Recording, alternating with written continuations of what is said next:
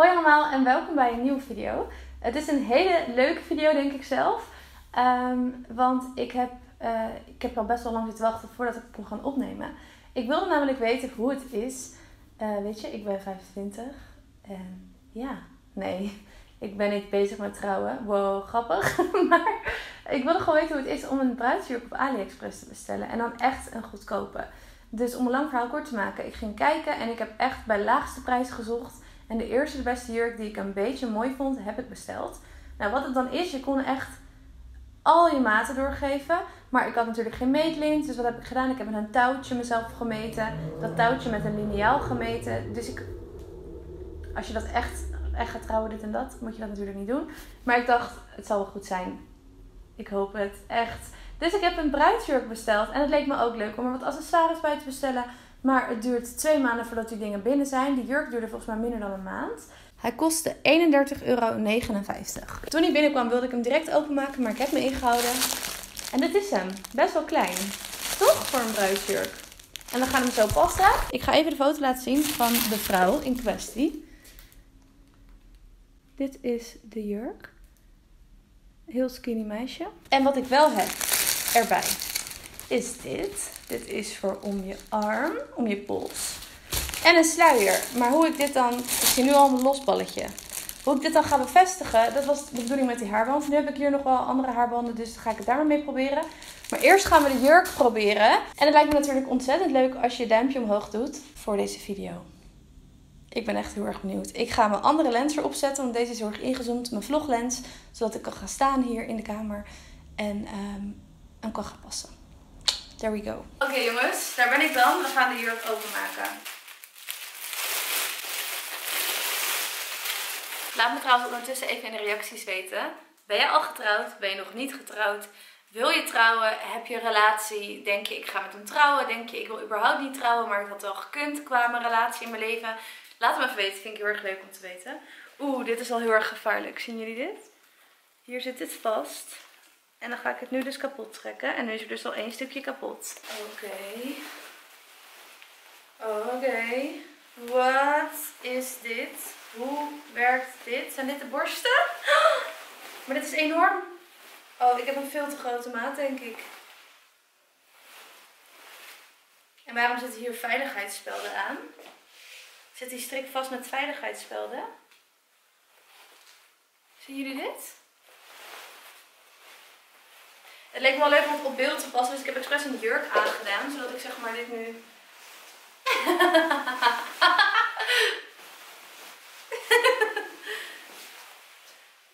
ik dacht, dat doe ik nu zo mijn jurk uit. Oh, Charlotte. Volgens mij kon ik zeg maar... Je kon je maten specifiek doorgeven, maar toen lukte dat niet om dat in te voeren. Dus toen kon ik uiteindelijk alleen maar standaard maten kiezen. En toen heb ik eentje gekozen die een paar centimeter groter was. Want ik dacht liever te groot dan te klein. Uh, maar een paar centimeter is natuurlijk best veel. Hij stinkt ook.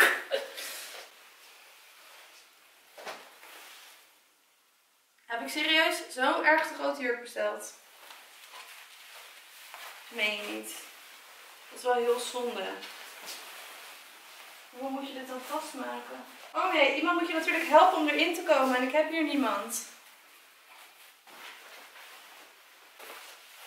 Nou, dit is een erg leuke video. Hij stinkt echt. Hoe krijg je dit vast?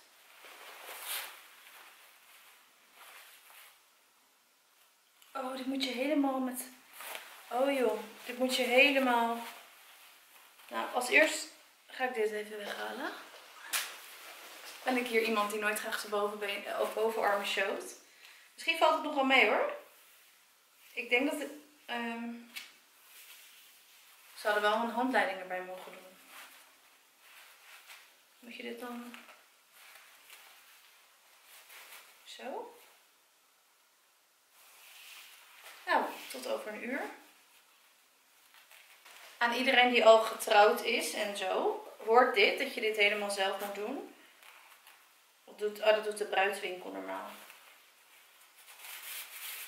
Op zich hadden ze dit wel. Nou ja, dat is natuurlijk voor hen heel veel werk. Oh, ik denk echt dat, het, dat ik echt net een te grote heb gedaan. Nou, ik zet even de camera uit, want dit duurt veel te lang. Tot zo. Trouwens, ik doe het natuurlijk helemaal verkeerd, want je moet het net als veters doen. Super slim. Maar waarom dit beginnetje er dan aan zit, snap ik niet. Is dat puur zodat je het niet kwijtraakt? Want volgens mij moet je dit dan... Het is... Mensen die wel eens een corset dragen, denken nu waarschijnlijk easy. Dan moet het... Um... dan moet je niet onderin beginnen dan. Ik had dit ook gewoon kunnen doen toen ik hem uit had, natuurlijk.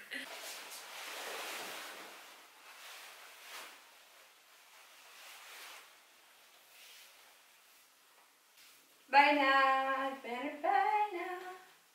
Oh ja, nu kan ik hem aantrekken. Nu heb ik het wel goed. Oh, ik baal echt dat het te groot is. Nou, ik krijg hem echt niet strakker. Jammer, wat stom Charlotte. Dom.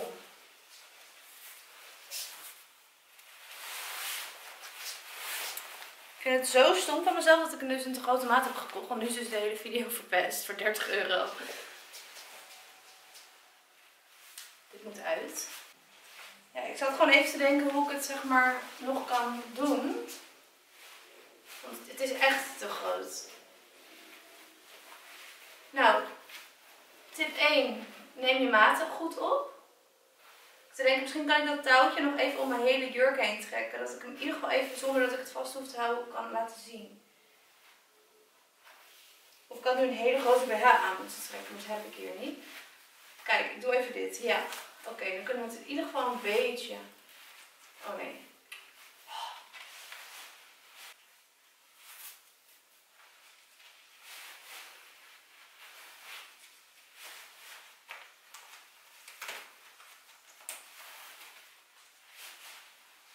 Dit is serieus voor het eerst in mijn leven dat ik in een bruidsjurk sta.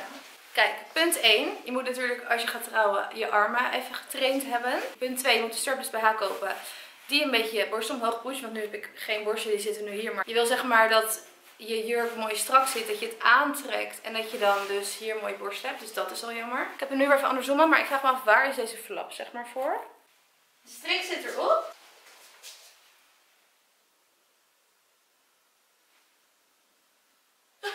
Ik word even ontroerd. Nee. Ik wil even, ik zit te denken in hoeverre deze jurk zeg maar voor een plus size iemand zoals ik heel erg dik maakt. Zien jullie wel even dat ik geen schoenen aan heb?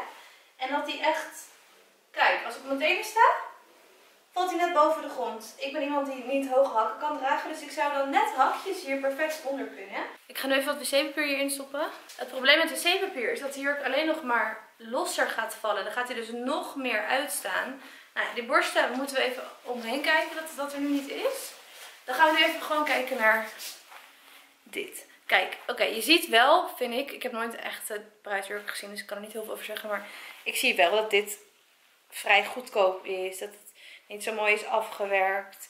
Ehm, mocht je zeg maar gewoon weinig willen uitgeven aan een bruiloft en er toch een keer mooi uit willen zien. Dan, nou ik vind dit meer een jurk als je een shoot wil doen. Of een theaterstuk of zo. Ik ga even mijn haar los doen, dat is misschien ook mooier. Een theaterstuk met een bruidsjurk. Dan vind ik dit echt wel een mooie jurk. Maar ik weet niet of, of je hier echt in zou willen trouwen. Ik vind het gewoon, dan zou ik denk ik eerder, als ik weinig zou besteden aan een bruidsjurk, zou ik eerder voor een minimalistische mooie jurk gaan dan voor dit. Want het is gewoon een beetje een klamboe. 1, 2, het is echt heel hard. Het is natuurlijk, het kost, het kost niks. Dus ik had er ook niet meer van kunnen verwachten. Dan ga ik nu even dit doen. Kijk, dit is weer zoiets. Dit kan je dus niet zelf vastmaken. Dit vind ik erg mooi. Serieus. Ook wel simpel. Natuurlijk. Mooi. Het begint nu trouwens een klein beetje te jeuken. Oké, hoe werkt een sluier?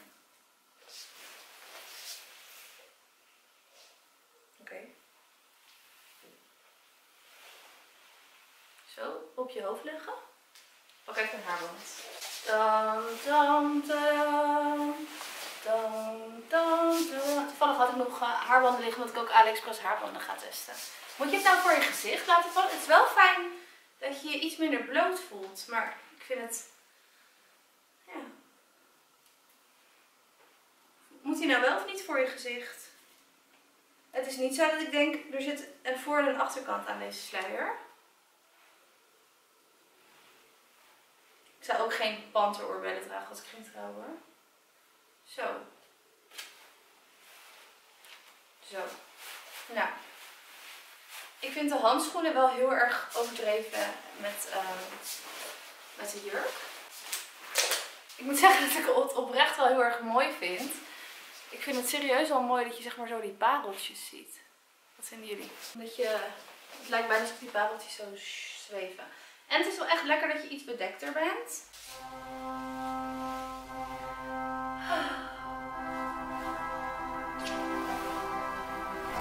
Dankjewel, dankjewel. nou. Ik, vind het wel, ik vond het wel echt heel erg leuk om zo een bruid te zijn. Uh, een sluier wordt echt mijn ding. Ik vind het helemaal lekker en leuk. En um, ja, laat me eens even in de reacties weten wanneer jouw dag is. Of jouw dag is al, al is geweest. Of je überhaupt zo'n dag wil. Het is altijd wel heel erg leuk om het zo te zien. Nou, dit was het. Dit was de video. Ik hoop dat jullie... Ik ben echt bang dat ik alleen maar haatreacties krijg. Maar vrouwen doen dat toch ook voor hun gezicht? Of is dat niet zo? Ik weet het even niet meer. Ja, en dan moet je zo... Oké. Nou, voor mijn gezicht.